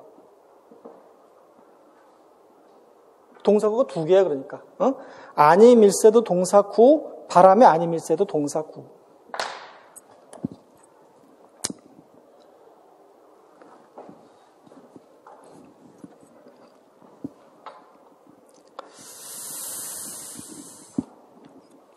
이 여기 한 번 더 마지막이야. 꽃 좋고 여름 하나인데 이게 지금 꽃 좋고 여름 하나니도 문장이고 문장이잖아 문장. 하나의 문장이고 문장이고. 그러니까 꽃 좋고 여름 하나니가 전체 문장이 물론 포함이 돼 있잖아 아무튼간에. 후행절이야. 문장이고 얘도 문장이잖아 아무튼간에. 여름 하나니도 문장이야 두 개 다 문장이야 공통적으로 그래서 그래서 꽃 좋고 여름 하나니도 문장이고 여름 하나니도 문장이고 이제 두 개 다. 음. 근데 차이가 있다면 어떤 차이가 있어요? 꽃 좋고 여름 하나니는 전체 문장 속에 들어있는 이제 주절이지. 얘는 말이야 지금 예, 꽃 좋고 여름 하니가 전체 문장 속에 들어있는 이제 이게 저 쪽에 뭐야 그 이제 뭐야 포함되어 있는 이 주절이잖아. 주절이고 그러면 여름 하나니는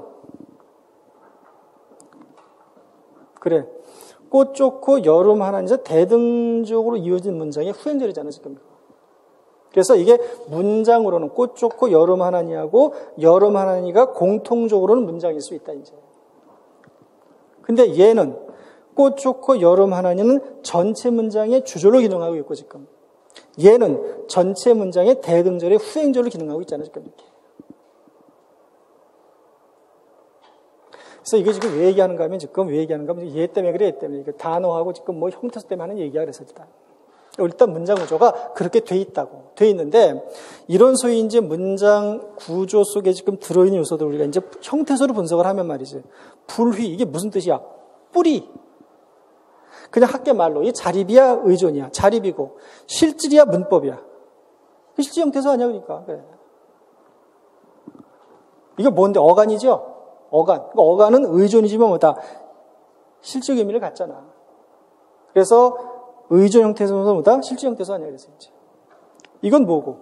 어미. 그래. 어미야 저게? 무슨 어미인데? 관형사용 어미 그래서. 그래서 어미니까 어때? 이거 의존이면서 문법이잖아. 그래서. 이게 말이야. 이 남이 이게, 이게, 이거 분석을 하면 말이야. 분석은 남간이지, 남간. 이게 원래는 나모 플러스 이게 아니야 그러니까. 이건 트리, 이건 보조사, 은. 그 뜻은 나무는이라고. 그런데 이런 단어들이 말이야. 특이하게 15세기에는 말이죠. 15세기에는 특이하게 뒤에 이런 단어 뒤에, 이런 명사 뒤에 모음으로 시작하는 어미가 오잖아. 뒤에 모음으로 시작하는 어미가 어미가 어떻게 바뀌는가 하면은 이렇게 해가지고 이음절에 있는 초성의 이 저기 받침이 이게 밑으로 내려가 이렇게 이렇게 밑으로 내려간다고. 그 옆에 세로 어떻게 붙어 이렇게 기억에서 하나 붙어 이런 식으로. 여기에 이제 이렇게 이제 이렇게 이렇게 안이 된 거예요. 이렇게 이게 이제 이게 남 간이 된 거라고. 뜻은 그러니까 뜻은 나무는 이제 뭐야 여기서 왔으니까. 뿌리 깊은 나무는야. 그런데 문제는 뭐가 문제냐면은 그러면 이건 의존이라고. 응? 의존이야, 의존. 이건 의존이야, 의존. 의존인데 이거 어디서 왔어? 여기서 왔잖아. 이건 자립이야. 어떻게 할 거냐는 말이에요, 이제. 그래서 저걸 원형대로 처리할 거냐? 아니면 변형된 채로 처리할 거냐라는 거지, 이제. 그러니까 원형대로 처리하면은 자립이고, 이 남간 이게 원형대로 처리하면 자립이고, 이거를 그냥 형태대로 처리하면 뭐가 들어서 의존이 그렇다는 말이지, 이제. 뭘로 본다, 이거는? 뭘로 봐? 이렇게 보는 게 적절해, 그래서. 나무로 보는 게 있었어. 형태는 의존이지만 그래서 이제. 그래서 얘는 뭐야, 이게? 이게 자립 형태소다는 말이야. 자립 형태소고, 뭐야? 실질 형태소죠, 그래서 이제. 그러니까 이게 분석을, 그러니까, 이렇게 분석할 거냐, 이렇게 분석할 거냐는 것은 조건을 줘. 조건대로 분석하면 돼. 그러니까 조건대로. 어? 조건에서 이렇게 분석하면 이렇게 분석하고, 이렇게 분석하면 이렇게 분석하고 그러니까 이제 그래. 그래서 이 나무는 어떤 이거보다 자리병태소로 처리한다. 그래서 뿌리 깊은 나무는 조사 아니야 조사. 조사. 그러니까 조사는 이게 조사는 뭐야? 조사는 단어잖아. 단어인데 의전이고 단어인데 뭐다? 문법 형태소다란 말이야. 그러니까 이게 그러면 한 번 더야. 그러면 어미는 어미는 조사는 조사는 단어인데 문법 형태소고 이게 뭐다? 의전 형태소잖아. 근데 어미는 단어가 아닌데 문법 형태소하고 이게 뭐다? 의전 형태소라고 이제. 그래서 좀 이게 불리해 사실. 이게 굉장히 이게 좀 보기에 그 못마땅하다고. 왜 조건이 똑같은 형태소적인 조건이 똑같은데 왜 너는 다르냐란 말이야. 형이냐? 난 동생이고 이제. 이런 어떤 불만은 이제 어미가 가질 수 있지 사실은. 그러니까 어미를 끌어올려 주거나 조사를 끌어 내리거나 이제. 그러니까 올리는 게 해서 내리는 게 낫겠어. 내리는 게 낫지. 그러니까 조사를 단어로 인정하지 않는 게 낫다 그렇게 치면 말이야. 그래서 이걸 단어면서 말이야. 이게, 이게 위상은 단어인데 어? 이게 실제적으로 어떻게 들어서 이게 어미와 같은 그런 식의 어떤 이 성격을 갖는다고 사실은. 형태적으로는 말이지. 그래서 어떤 조사, 이 나무는, 나무는 바람에 그랬잖아, 바람. 애는 뭐야, 애 이거. 애. 부사격 조사인데 의미는 원인, 바람 때문에 이런 말이잖아. 바람 때문에. 아니는 품사가 뭐예요? 품사. 부사, 부사. 부정부사 아니야. 아니, 아니. 밀세 그랬는데, 이 밀세, 미다 있잖아, 밀세, 미다. 요 미다가 동사로 흔들리다 이런 뜻이야. 그래서. 그래서 미다의 미는 뭐고? 어 간. 리을세가 뭐고 이거? 이거 어미. 어미인데, 리을세하고 여기 지금 요 리을세하고 바람의 애하고는 어때? 이게 의미가 똑같다. 무슨 뜻이야? 뭐뭐 때문에. 그래서 바람 때문에 아니 흔들리기 때문에 아니 흔들림으로 그래도 괜찮아 그래서 이제 똑같이 원인이나 이유의 의미를 갖는다. 아, 이 고준 그냥 참고적으로 해. 이 고준 이게 표기가 종송부용 초송표기야 받침이. 이 종송부용 초송표기 지읒의 8종 송표기는 뭘까? 시옷이야. 시옷. 그 뒤에 만약에 음, 모음이 오면 말이야, 들어서 이제. 이게 이제 모음이 오거나 이제 들어서 뭐 그러면 들었으니까 이게 보통 우리가 그, 이 꽃이라는 게 그러니까 여기서 꽃이 좋다라는 말 이게 어떤 꽃의 모양이야, 모양. 그래서 모습. 모습이 탐스럽고 이런 말이에요, 그래서. 그래서 꽃이 좋고, 꽃이 아주 탐스럽고, 이 좋다, 어간이고, 고 뭐고, 어미. 음, 여름 하나니 그랬지. 여름이 어디서 왔어? 이게 열다에서 왔다고, 열다. 그러니까 여름은 품사가 뭐겠어? 그냥 저 짐작으로 여름은 품사가 뭐예요?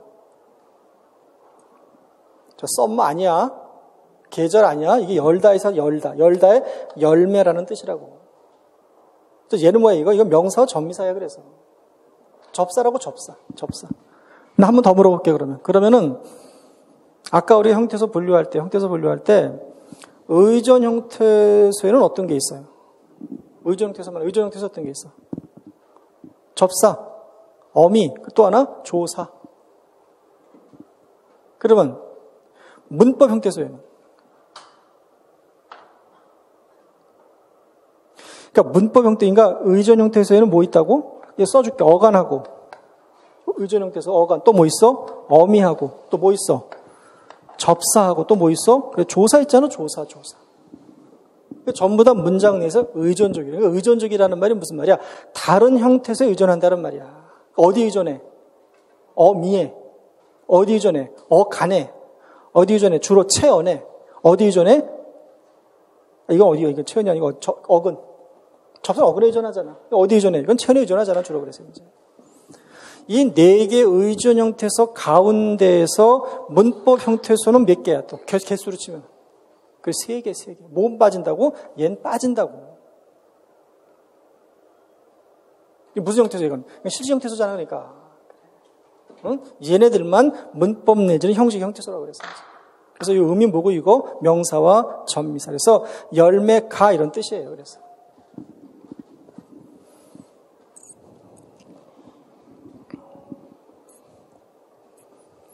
하나니 그랬지. 하어가 아니고. 그러니까 이게 하다가, 이게 하다, 이게 하다 형용사, 형용사. 많다라는 뜻도 있고 뭐도 있어요. 이게, 이게 크다라는 뜻도 있다고 그랬어요. 이제. 그래서 하어간에, 요 나는 뭔데? 현재 시제 선어머럼.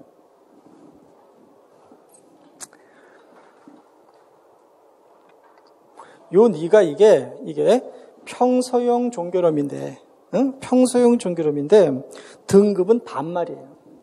반말. 그러니까 듣는 사람에게는 반말투로 말하고 있다고. 여기 이제 여기서 이게 뭐 이거 종교 내가 종교 종교 종교. 그러니까 왜 니를 썼냐면은 너 니를 쓴 이거 내가 한번 설명했었잖아 강독 시간에. 지금 이 작품을 누가 읽을 것이냐는 말이잖아요 지금. 누가 읽을 것이냐 지금. 그러니까 그 읽는 독자가 지금 어때 이게 명확치 않다고 사실은. 그래서 이 니는 이게 반말인데 이게 어느 때 쓰냐면은 상대를 내지는 청자를 높일 수도 없고 낮추기도 곤란할 때 쓰는 거예요. 그래서 이제 반말 투지만 말이야. 그래서 이제 아주 애매하게 써놓은 거죠 지금 그래서 이제 그래서 하다의 하나니 하어간 그다음에 나 어미 모두 어미 니도 어미 그래서 이제 이런 식으로 형태소를 우리가 분석할 수 있다는 말이에요. 그러니까. 그러니까 이게 어렵다라기보다도 이게 어용 자체가 낯서니까 조금 이제 좀 이게 서먹한 측면이 있는 거지. 그러니까 분석은 똑같아 현대국어랑 그러니까. 이 어용을 어떻게 정확하게 이제 우리가 이제 그 어용을 이제 분석해 낼 거냐 저 얘기하지만 이게 이제 관건이에요 중세문법에서는. 그래서 이제 이게 이제 형태소로 이제 분석이 되는 경우랑 뭐는 또 단어는 다르잖아 또 이제 그래서 이제. 그래서 어떻게 다른지 이제 이걸 좀 우리가 이제 비교를 해서 우리가 이제 정리를 해주면 되지. 조금 쉬었다 합시다.